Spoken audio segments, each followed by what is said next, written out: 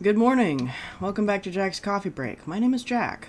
So today we have a couple of tutorial requests. Um, a few months back, Matrix Potato asked if I could do some tutorials on water exhibits and on walkthrough exhibits. Well, the water exhibits is up. Um, I've done all three parts at this point for making this habitat. Um, there are a couple more topics that I want to tackle with it. Uh, specifically, I want to I want to talk about hot springs, um, and I want to talk about where you would want to use the different like colors of water. And that is actually a little bit more complicated than you would think just because we got to talk about geography. Today we're going to be focusing on the walkthrough exhibits and i had been tossing back and forth how i wanted to do this for a, a while. However, Lion, in a more recent video, actually on one of the, the water tutorials, has asked if I could just share my tips on like how I think about doing buildings and, and you know, ways to make things aesthetically pleasing. And so I figured that today I would combine the two into the same topic because quite frankly, it's it's the problem that I've been having myself with trying to figure out how I want to do this walkthrough exhibit tutorial. There's no reason really for us to go into the full details about everything that's on these pages, right? For the most part, there's really only three you're going to use. It's it's going to be the first main page that tells you an overview. It's going to be your climate to make sure that your animals are living in the correct temperatures. Um, and it's going to be your management tab, which is where you're going to tell it manage populations, send things to the trade center, things like that. Now, I have already covered this previously, and if that was not to your liking, other people have covered this topic to death. So there is not a shortage of information about how that mechanic works. So I'm not going to focus on it. Today, instead, I'm going to talk about how on earth you decorate for these things, because it's kind of tricky, right? It's an extremely large building. In fact, it's it's one of the largest buildings we have in the game. As far as I know, the only thing that rivals it is going to be the large quarantine. Um, so let me pull one of those out so you can get a reference. Is it the large quarantine? Yeah, I think it is. Um, so the the next largest building that we have is the large quarantine, um, which is a large building. You know, it's if we go over to our construction tab, I like to measure based on these 4x4 walls. Um, so the large quarantine is a 3x3 structure. It's, it's big. it's very big. Yeah, um, it was the largest building that we had. And then this thing came along. It is a 4, no, 5. It is a 5 by 3 by 2 structure. So this is the largest unit that we have in the entire construction tab. And it makes it difficult because the animals are going to use this entire space. Um, so I have all five of the animals that can currently go into exhibits as of my recording this in March 2024. Um, I believe we're slated for one more pack, which might add one more animal, maybe anything beyond that and you're talking about mods. So this is one of the bats. Um, we currently have two bats in game. Uh, the fruit bat and the Egyptian... No, it's the it's the Egyptian fruit bat and the uh, flying fox. Um, now in this one we have sloths, uh, which are our only mammal that goes in these. We also have butterflies, and there's there's one other that goes in here I can't think of it right now. The, the list is very short, and they're all locked behind DLCs. If you don't have DLCs, you're not dealing with this situation. Um, you have access to this unit, but you don't have access to animals that can go into it. It's one of the few oversights, um, unfortunately, that I think Frontier made. But the main thing to note here is that unless you're dealing with something like the Sloth, where they're going to be limited to all of this climbing frame through here, anything above this climbing frame, they're they're really not going to deal with. They don't climb the walls usually. The bats and the butterflies, however, will use this space to their maximum, as you can see with them, you know, hanging on this sort of hanging mesh net. So, we need to count this entire building as traversable area, and therefore we need a way to decorate this entire space. Now, most people, when they think of things like fruit bats, um, or any bat, they immediately go to nocturnal habitat, which is a great idea. They're a lot of fun to build, um, and in a lot of ways, this structure that I'm building right here is one of those. Um, Now I do have sloths in it, which is a little bit inappropriate. I meant to have bats in here. Um, but if we look around this space, we can see that it's enormous, it's not decorated, um, and I haven't done much with it. I've basically just created a shell, and I've added this water wheel, um, and I've specifically used the one that moves. Um, there are ways to make this feel a little bit more realistic. One of them is uh, actually to go into your construction tab and use these special effects um, and if you go down to the water ones, if I can clear my filters, there we go. So you have all of these different effects. Um, and I find that the the water jet splash can be pretty good just for adding a little bit of, uh, can I get a line of water? Thank you. Just to add a little bit of like life to it. And then to have, um, there's another water jet um, this one water jet medium. So if you angle this down, um, unlike what I've done, you can get this kind of effect of, um, depending on how you layer it, water like falling over this water wheel. It's a little bit frustrating to do, but it is possible. To give an example of what that looks like, I'm just going to come over here. Uh, I'm going to go into my blueprints. Here we are. Nope, that's water tower. This is the one I want. So here is my attempt at a water wheel. So this is an, an internal structure uh, that I've ripped out of another building just for the sake of, of transportation. Um, but you can see how I've used these chutes in order to, to use these sort of jet effects um, in order to create this water splash. So if we were to set this in this river, for example, I would just come over here. I'd set these into the water. Just as such and then I would use um, the jet splash effects in order to make this look like water was actually falling this direction.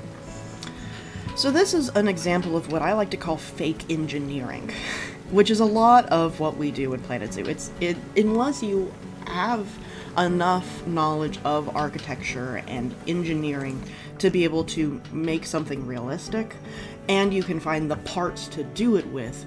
A lot of what we do in Planet Zoo is basically fake engineering. We're building something that is convincing enough to life that you can pretend that it's believable, right? good example of it is over here with this exhibit that we just finished up.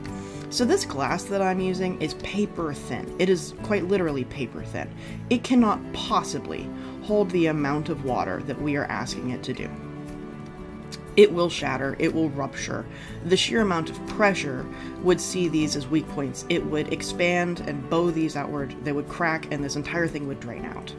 Um, you would need to use something more along the lines of our thick grade glass, something like this.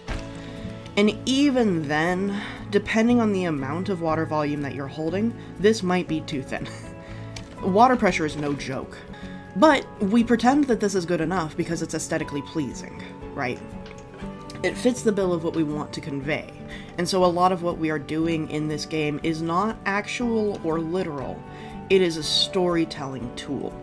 And I think that that is perhaps the most important thing I can say as far as trying to figure out what you're going to build and how you want to make something aesthetically pleasing. What story do you want to tell with your zoo? Tell that story. So, before we get into examples of that, let's talk about where our storytelling desire meets our basically hard requirements, our hard limitations. So, with all of these exhibits, they come in different modes for how you can set them up. Um, some of them have different. Uh, if we go here to layout, actually no, it's a customization. So this is another tab that you'll probably want to use. It's it's our fourth and final. You really only need to set it up once. So there are a number of different facades that you can use around this structure. So for example, for the sloths, you have wire mesh solid none. Um, and if you want to set this up very quickly where everything is synchronized, you can use the sync wall and ceiling material. And if I want this to be, say, none, it will automatically synchronize everything, and then I just need to figure out what I want to do with my doors and floor. Nice and simple, um, prevents you from having to go through like 14 different tabs. It's, it's not, it's like five, but it's still too many. Um, over here with the Flying Fox, on the other hand, we have glass, which was not an option that we had, so wire mesh glass, solid, and none. So this gives us different potential looks. They're not shared across everything, but the ones that are are this solid right here and this none right here. So this is where I've turned everything off except for the pathing. And if you wanted to, you can actually quote unquote turn pathing off. You can use invisible paths. Um, the way you would do that is you would use your natural path and you would turn off your uh, your slope or uh, come on brain think think curb on brown on ground path this button right here turn this off you now have an invisible path. Everything about this structure is invisible. It's great for creating natural walkways. The other thing that we need to consider is the enrichment for these animals because there are certain stock items that are always going to come with these right? So for example if we go here into customize or uh, no into layout. So I have ripe fruit set up. Um, if I turn everything off, you can start to see what our base looks like. So it always is going to have these little houses right here for our butterflies, and it's always going to have these two bushes. These are hard built into the enclosure and you cannot remove them. Everything after that is decoration. So if we were to turn everything on, which doesn't negatively impact the animal. You technically only need one out of each of these categories to hit their layout requirement, but you can see that this is what this is going to look like. You can't move these plants around, you need to build around them. So it can be nice, for example, to go into here and to figure out where all of your different hard structures are and to change them to the theme that you want. That's one example. Um, another one is to go into your nature tab, and because you can place all the greenery and all the rocks you want into here, um, we could, for example, use this rock, um, assuming that it doesn't align to surface and break everything, to create a little platform for these to sit on. And it would hide this, uh, this mesh plate that we're using. That's another way that we can do things. So your nature tab is fully usable in this form. You know, if you want African daisies on the ground, your guests will walk through them. They don't care. Um, but it can add a nice little splash of color. Um, color matching is another thing that's limited in Planet Zoo, but not as limited as you think. So this gets into a whole argument about color theory and uh, complementary colors versus clashing colors and frankly, if you want to go down that rabbit hole, welcome to ArtTube. I'm good luck. Good luck. It it can be very helpful. It can also be a dystopian nightmare. Um, but I guess most of the internet's like that, isn't it?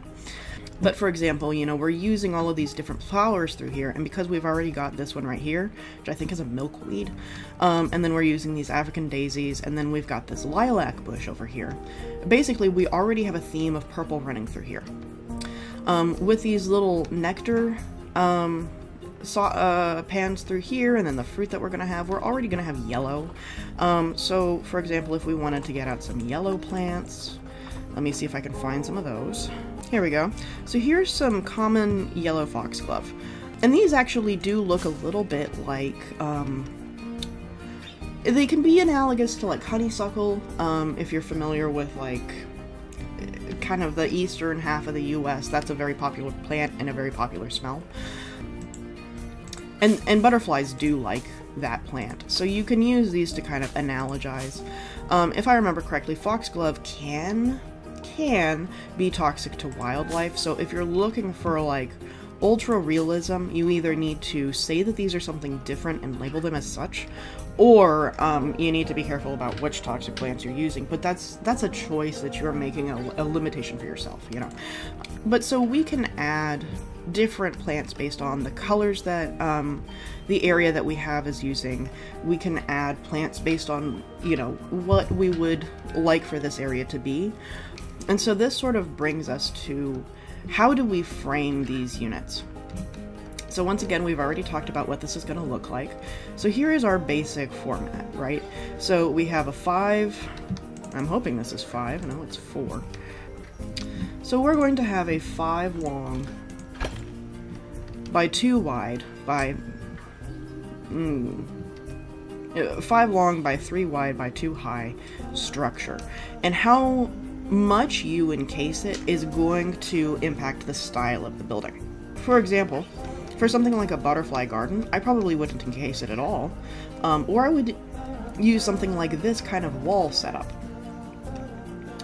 So if we go ahead and, uh, let's just go ahead, I'm gonna say not construction, not facilities and exhibits, good. We're just gonna get rid of the nature.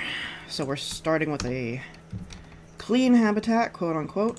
Let's go ahead and highlight this, we'll go into construction, and let's go ahead and get out some walls. Say, for example, that you wanted a classic butterfly garden. Well, you might want to go for the, the classic tab.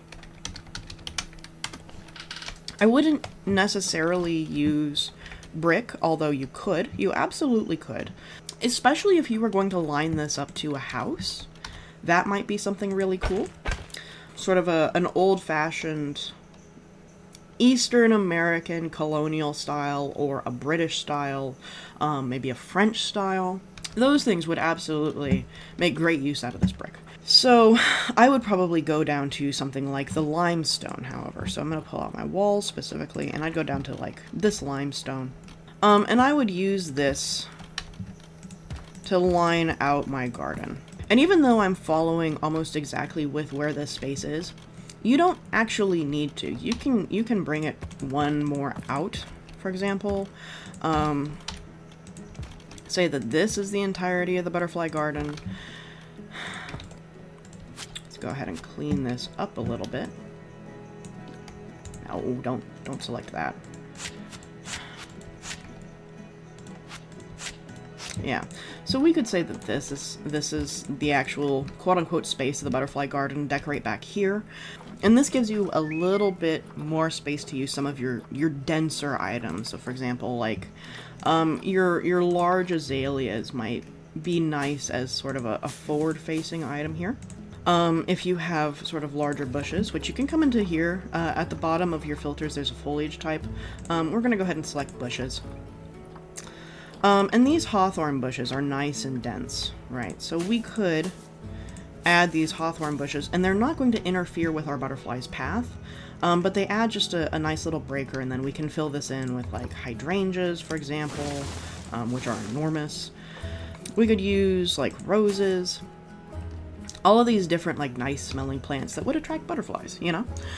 So that's kind of another way you can do it. Instead of building uh, your foliage out negatively based on its toxic properties or lack thereof, um, you can build it on their positive properties, especially with butterflies, of what plants would attract butterflies, you know. So that's another option.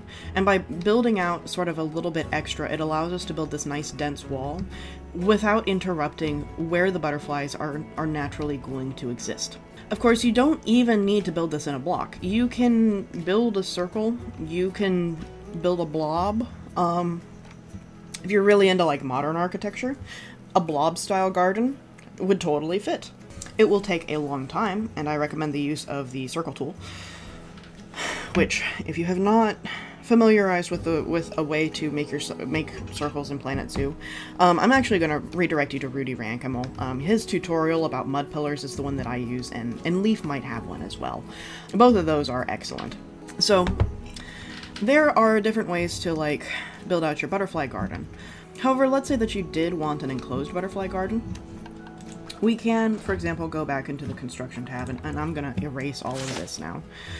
Let's go ahead and erase construction as well. And for example, we could use um, glass, and there are actually just the mesh pieces.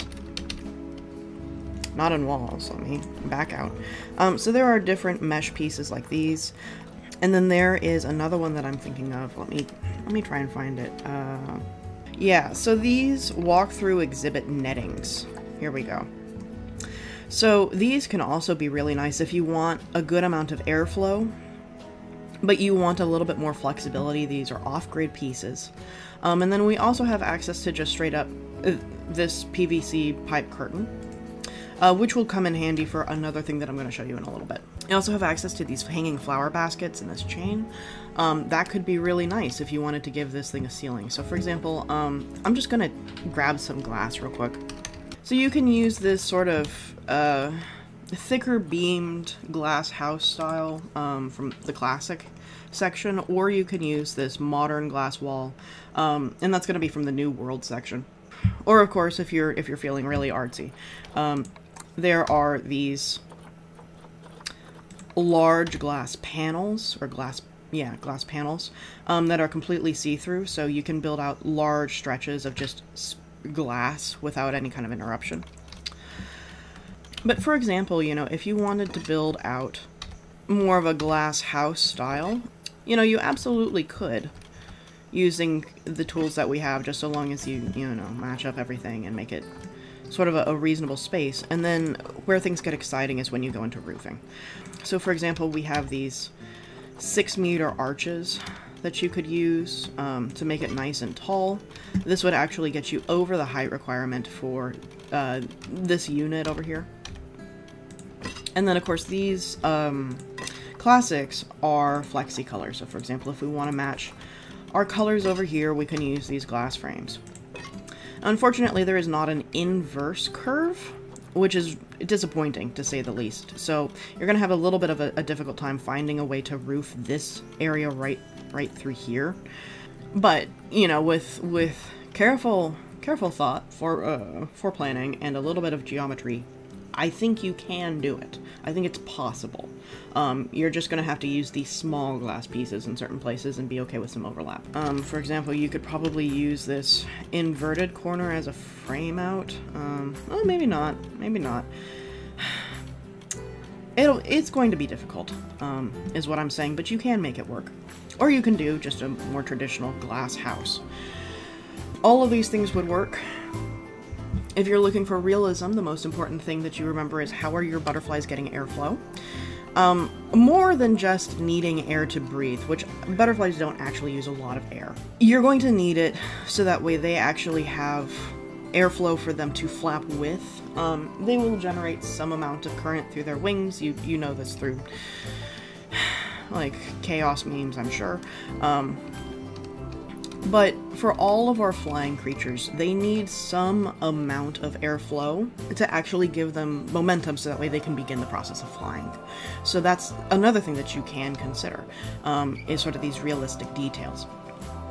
Um, but I think I've said as much as I can on this map. I'm going to swap over to a couple of examples now. Okay, so here we are in one of my franchise zoos. Um, I have too many of them. So for this one, I had a, a, very particular style I was going for for this area. Uh, don't worry about the pyramid. And I really have not done a whole lot of decorating with this zoo. I've I've started a little bit, but for the most part, you can tell I've used almost entirely the plaster pieces, and I've used a little bit of color in order to give it that pop, but there's no decorating to be found here.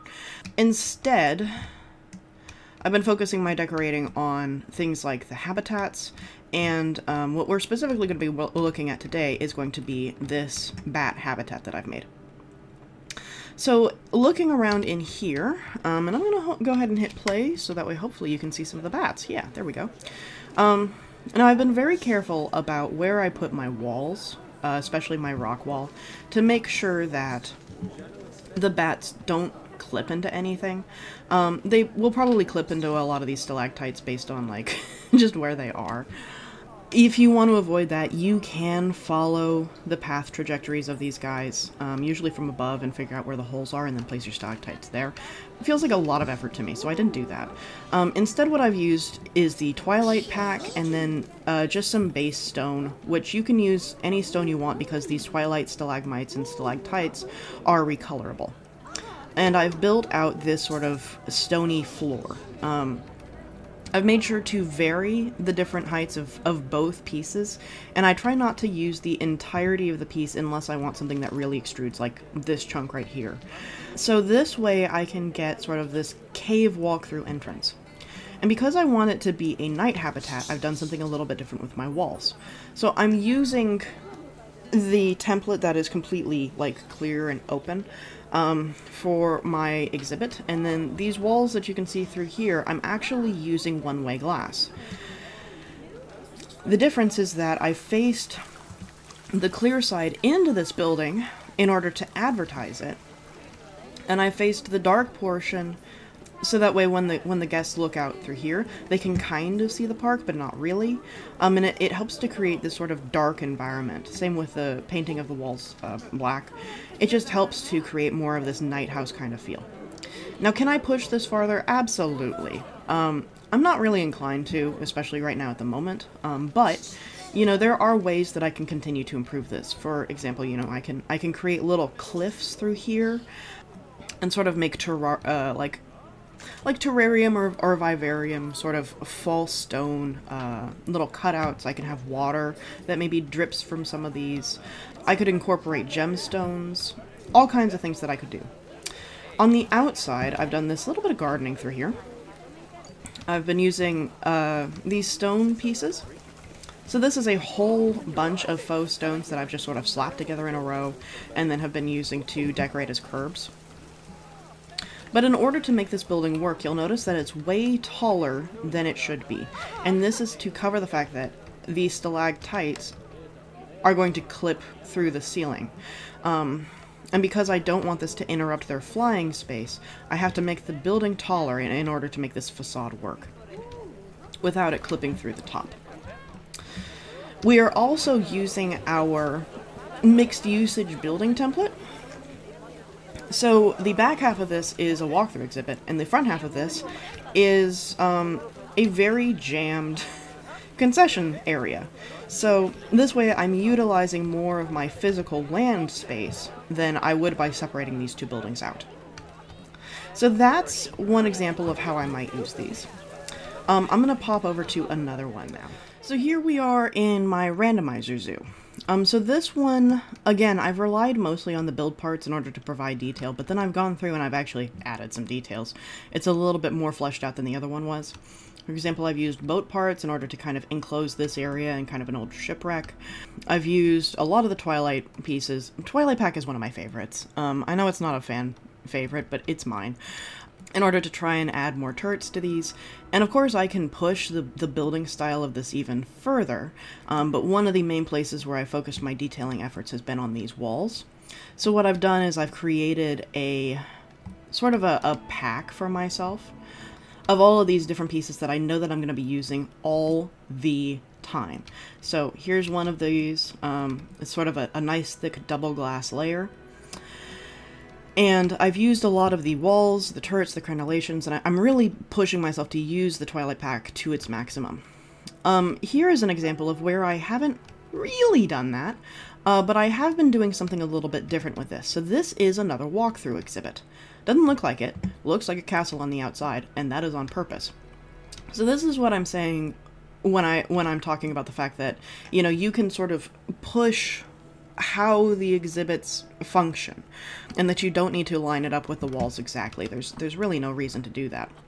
So this is a dual habitat. Um, despite the fact that it is a walkthrough exhibit, it is also a regular habitat. Um, so in here I have kiwis, and this is going to be a place for them to walk through. Um, but then also, when I, because this is a randomizer, I'm having to wait for one of my um, exhibit animals to pop up. Um, so this should, yes, this does have a walkthrough exhibit, so you can see that I've, I've got it with nothing showing. Um, so let me go ahead and just show you where this would be. So now you can see sort of the outline of where my walkthrough exhibit is. I'm going to go ahead and turn this back to none so that way we can get a good look at the habitat. So when I finally roll on something like bats, um, or sloths, or, or whatever, because we're in a tundra zoo, it makes more sense for them to be in an enclosed space. Now this would still be too cold, I do have heaters, um, but the goal is to try and make this warm enough for kiwis and whatever walkthrough exhibit animal we end up rolling someday.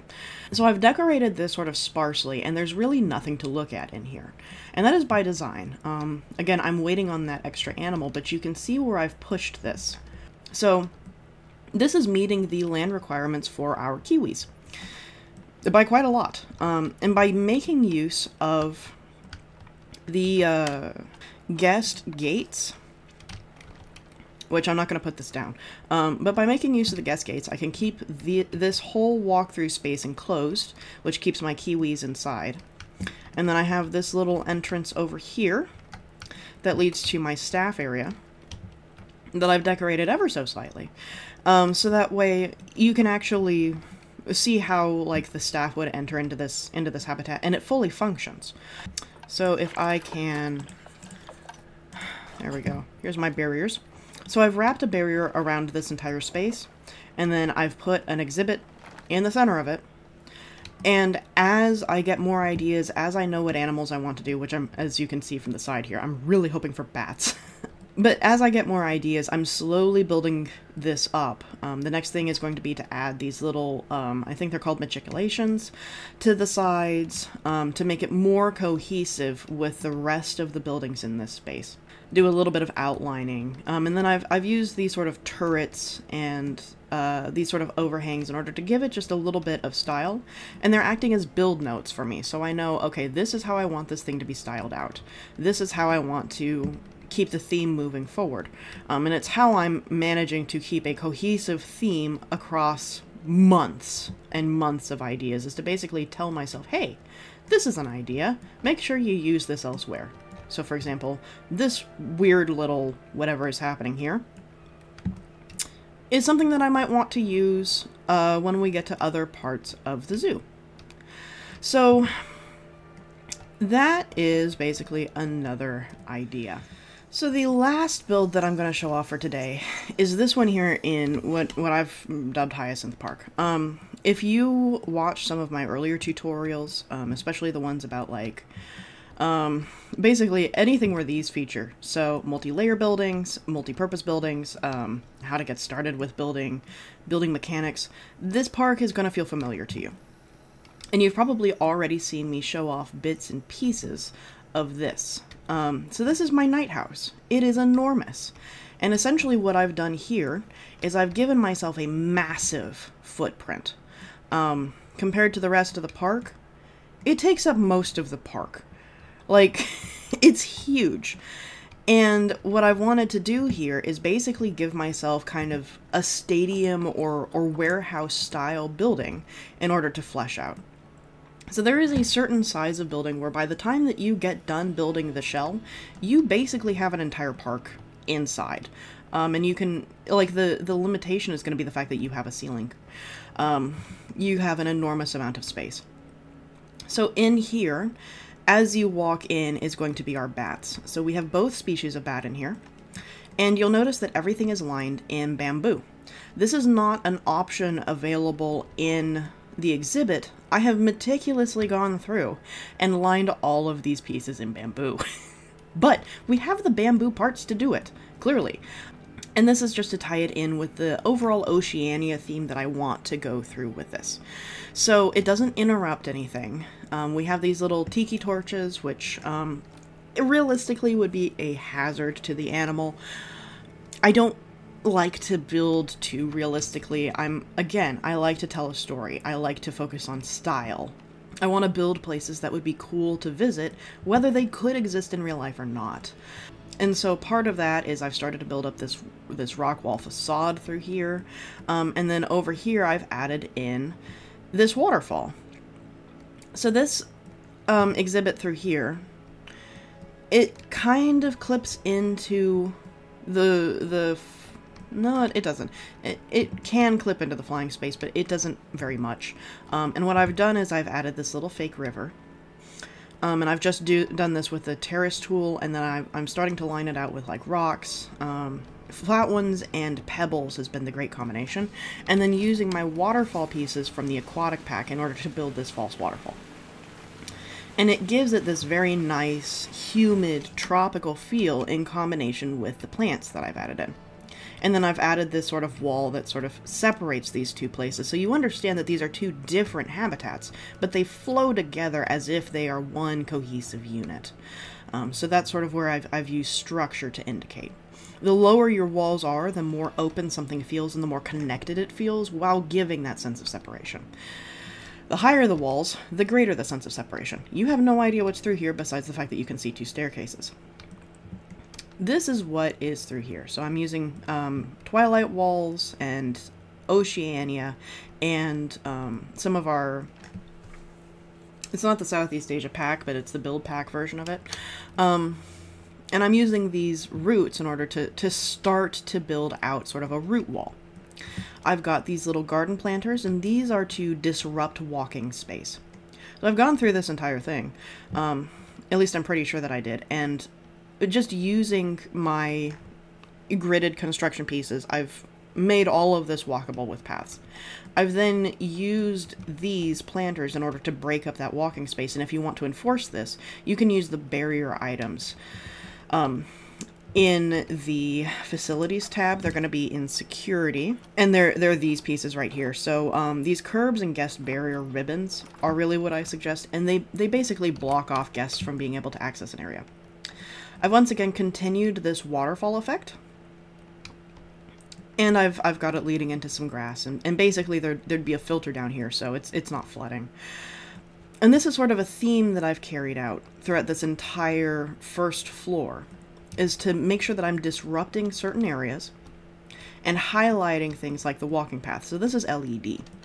So if we go ahead and turn this to night, you can see how this path would glow. And this would partially be security lighting, you know, for, for your security staff, your janitorial staff, etc. Um, but also, if you wanted to have true night walk-through tours, this would be another way to tell your guests, hey, this is the area you're supposed to stay in. So as I continue to build this, I'm going to continue using these LEDs as sort of a path highlight. I've also got this massive glass wall through here, so this will be how guests can kind of look out onto the park and how other park patrons can look into here. Oftentimes, if you don't know what a building is, especially in a zoo, it can feel like you're not supposed to go there or be there. If you can see the building clearly and you can kind of get a hint of what's inside of it, it creates a sense of intrigue, and so it, it draws people to that area of the park that would otherwise, you know, sort of feel like a you're not supposed to be here situation. Um, of course, you can also get around this by advertising and, um, you know, having different signs and, and also through your path design, just naturally have the largest path lead to the largest building. Um, and that will create a sense of high traffic. So through here, um, this is my otter habitat, I think. I think that's otters. Um, let me go double check. Um, no, this is platypi. So here is one of my tiny little platypi. Um, he's a baby. So we have some adults in here as well. They've been breeding. And this slope goes down into this secondary area. So you get your underwater viewing by staying on the ground floor. And I've made sure to decorate the underwater area. So this is going to increase the amount of foliage that you use in your habitat, but it is really, really worth it. Um, for these, um, this is a group uh, made up in individually of underwater temple plants, and it creates a kind of kelp. Um, this is something that we go over in the underwater viewing areas video, um, especially the third one. Not a lot of talking in that one, but you can see pretty clearly what my goal is. Up here, we've mostly decorated with, with grass and, and sedges and things like that in order to give it this sort of desert tropical feeling. Um, let's go ahead and turn the lights back on again A little bit of bloom there. And so now we can see it clearly. Um, now this is not as decorated as I would like. I'm trying very hard, um, and I do just in general with most of my buildings, to respect coverage to a certain threshold. Here you can see that I clearly have not. Um, but with a lot of my animals, I try and respect their, their coverage requirements. If you decide not to, it only takes like 3% off their welfare, so as long as the rest of your keeping is fine, you can decorate these as much as you like. Over here, I have my kiwis. Um, so this is actually based off of something that I saw when I was in New Zealand. This is a little bit larger. It in in the one that I saw, they had these small little circles and sort of dens and ways for the kiwis to, to jump back and forth and then go into their, their private areas. And I've I've tried to replicate that just a little bit here, but make it larger and more appealing. So again, making use of a lot of rocks, a lot of sedges. And then back through here, I have this little door, and we have a larger one over here. And I'm using kind of a black plaster illusion, essentially, to create a sense that this door doesn't exist, and then using foliage to, to try and block it off. And this is going to be their backstage area, which is where you can see they're resting right now. So, while these are not exhibit animals, um, you their building methods are, are kind of like the the walkthrough exhibits in the sense that they're they're smaller than usual areas. Um, the platypi not so much, but definitely the kiwis and the the platypi can be kept in very small areas. And then of course, you know, you can, as I as I showed previously, combine habitats with your walkthrough exhibits, and it's not going to cause any kind of disruption. Um, your habitat animals don't recognize exhibit animals as as being animals, as being entities. So you can combine these quite nicely. So this is basically the idea behind this entire night house. They are separate, but I, I'm trying my best to like keep this all kind of cohesive and create an experience as you walk through. And the last thing that I've done, and this is specifically something for Planet Zoo, is that I keep these doors open. It's not realistic, you would want these doors to be closed, but I use this in case, you know, I decide to ever upload this to the um, workshop. So that way people who download my park can see, hey, this door is open and it invites you in. Um, it's sort of a, more of a video game mechanic, uh, a, kind of one of those illusion tricks that we use in, in video game design. I say we, um, I've barely designed anything. I've tried. I have worked on it. Um, I do study it, but you know, it's it's basically one of those uh, psychological tricks to tell people, hey, this is a space for you to come into. I made this deck, and then, of course, you know, you leave this way. So this is what the building looks like. But of course, if you're going to have a building this large, you're also going to need to have staff areas. So this is a temporary space, but of course, if we came through here, um, this is going to be where our staff basically do all their business. Um, here you can see my power facility, it's starting to break down. And then this hallway up through here is what leads you into the Kiwi access area. Going back down here, you may have seen this little door. Um, so I would probably put a sign here or a closed door, something to indicate that this is a staff facility, right? So we do have a little bit of structure clipping, but thankfully the, the staff in this game don't care. And this is what leads you over here in order to be able to access um, the platypi habitat. So all of this decorating, I'm, I'm doing this slowly, I'm doing it over time, and I'm doing it as ideas come to me. Um, and that's really something that I've, I've learned to embrace, um, especially with a game as large and as detailed as Planet Zoo, is to just take things slow. Um, ideas will come, and if you run out of ideas, it's okay to stop and walk away and do something completely different and come back. So that is kind of the rough overall idea of what I use for exhibit building and um, sort of a, a, primer in how I start to build areas um, and how I start to add appeal and things like that. And I will I will give a a more detailed walkthrough on exactly like what is my logic process, how am I finding places of appeal, what kind of research am I doing, um, in order to create things that are like this, you know. Not so much this. this was sort of a, a, happenstance. I just, I needed to throw down something, and this is sort of what came out. Um, but again, we'll, we'll talk about all of that probably in the next tutorial to, to give it more air, um, because again, I'm, I'm trying to focus as much on walkthrough exhibits with this reference as I can. But anyway, that's basically all and a little bit more than I really have to say. So thank you very much for joining me. Hope you have a great day. Uh, stay safe, and of course, happy building.